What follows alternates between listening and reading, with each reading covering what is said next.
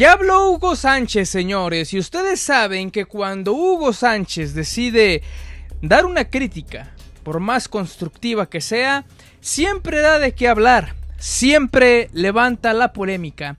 Y en esta, en esta situación, en este caso, no ha sido la excepción y quien salió salpicado es Rafael Márquez, que también está a punto de estrenarse como auxiliar técnico del Vasco Aguirre en esta fecha FIFA del mes de septiembre. Hugo Sánchez no perdonó a Rafa en televisión nacional. Le dijo algo que puede ser muy doloroso y ya veremos cómo contesta Rafa Márquez. Es el tema hoy aquí, muy bueno, muy polémico, en la barrida. De la barrida, qué gusto saludarlos en un video más. Seguramente muchos, más que con la emoción, aunque algunos sí pueden sentir emoción, pero más allá de eso, eh, con la expectativa de lo que será el debut de Javier Aguirre como técnico de la selección mexicana, de Rafael Márquez como auxiliar en lo que serán los partidos ante Nueva Zelanda y la selección de Canadá, ya los eh, convocados concentrados ya con el Vasco, algunas caras nuevas. Eh, como la de Alex Padilla, como la de Alan Mozo, rostros conocidos, como prácticamente muchos de ahí. Pero bueno, hoy no vamos a hablar tanto del Vasco Aguirre. Hoy a quien le toca es ni más ni menos que a Rafael Márquez, que como bien sabemos, llegó como auxiliar técnico del propio Aguirre, que va a debutar también en ese puesto en esta fecha FIFA. Pero ¿quién lo tundió? ¿Quién le dijo algo puede ser doloroso, pero al mismo tiempo polémico, porque vaya que hay debate sobre si tiene razón o no. Es Hugo Sánchez, que bueno, en fútbol picante, en las eh, pantallas de ESPN, donde él sigue trabajando, dijo que Rafael Márquez se ha equivocado en la decisión que tomó con Javier Aguirre.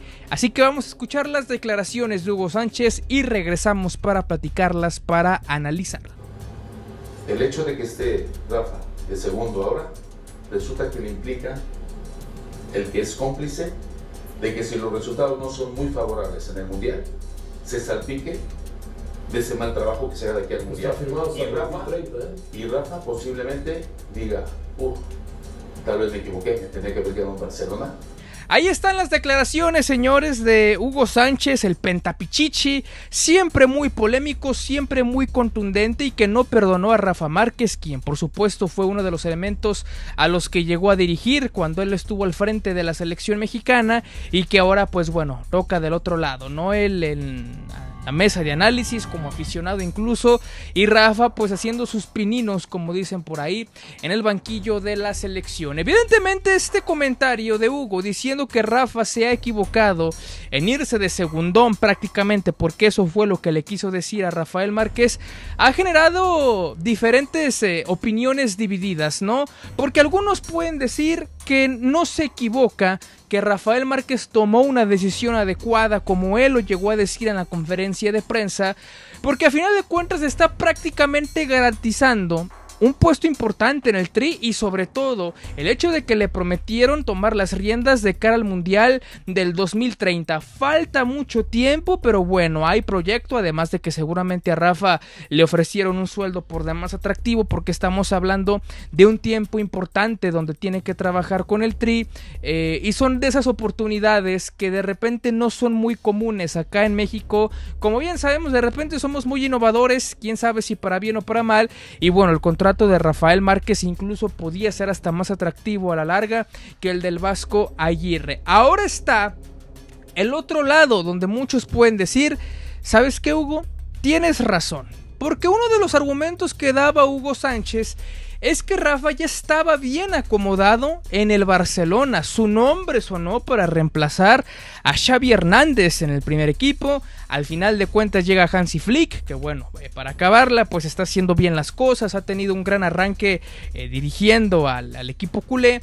Pero Rafa ya estaba ahí, era entrenador del Barça Athletic, que había tenido buenos resultados y ya sabemos que lo que te da una escuela como la Masía, la, Masía, perdón, eh, un entorno como el Catalán, un Barcelona que por más que ande mal no deja de ser uno de los equipos más mediáticos no solamente de España sino del mundo entero, te daba una vitrina de aprendizaje impresionante y que tarde o temprano iba a ser tomado en cuenta tanto para el primer equipo del Barcelona como también para llegar a la selección mexicana. Es un hecho que las puertas del Tri no se le iban a cerrar con todo y que rechazara la propuesta para lo que será este Mundial del 2026 donde él llega como auxiliar, esas puertas iban a seguir abiertas y bueno, como dice Hugo, no salir salpicado posiblemente de un mal paso de Javier Aguirre, ¿no? Entonces, eh, la polémica está buena porque ambos puntos, ambas situaciones tienen cosas eh, verdaderas, tienen puntos a su favor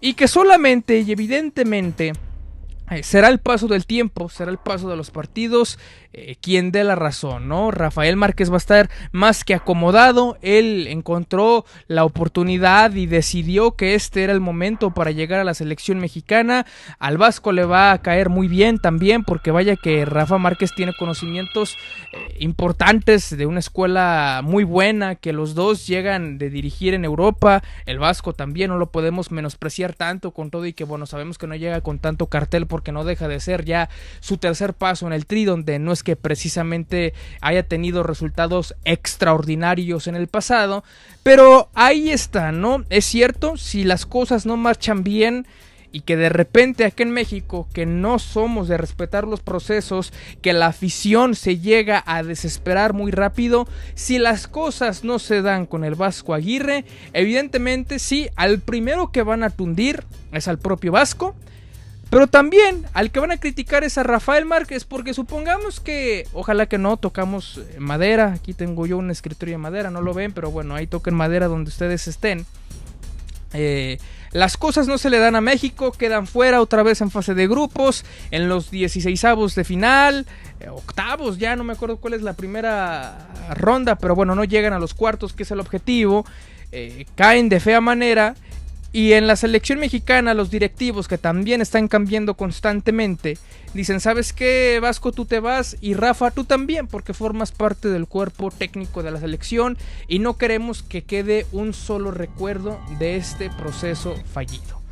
¿Qué va a decir Rafael Márquez? Me equivoqué y evidentemente le daremos la razón a Hugo Sánchez, ¿no? Seguramente estas palabras, para bien o para mal del Pentapichichi, no se van a olvidar, pero también está, por supuesto, el otro lado, que es el que queremos que se haga realidad, eh, donde digamos... Eh, Hugo se equivocó, Rafa salió avante, el Vasco salió avante y el proceso va muy bien. Son dos hombres con mucho aprendizaje, con mucho recorrido, con mucha personalidad. ¿Y qué es lo que esperamos? Porque a final de cuentas si Rafa se queda para el 2030 es señal de que las cosas salieron medianamente bien. No es que estemos esperando ser campeones del mundo, eh, ni mucho menos, pero que las cosas, insisto, avanzaron de buena manera. Así que eh, muchas opiniones divididas, pero ¿qué creen amigos de la barrida? La única importa es la de ustedes. Gracias por estar con nosotros nuevamente en un video más. Gracias por quedarse hasta el final y compartir para que de manera más rápida lleguemos a esos 100 mil suscriptores de donde estamos muy, muy cerca. Gracias por su apoyo. Mi nombre es Agustín Jiménez y yo los veo en un siguiente video aquí en La Barrida.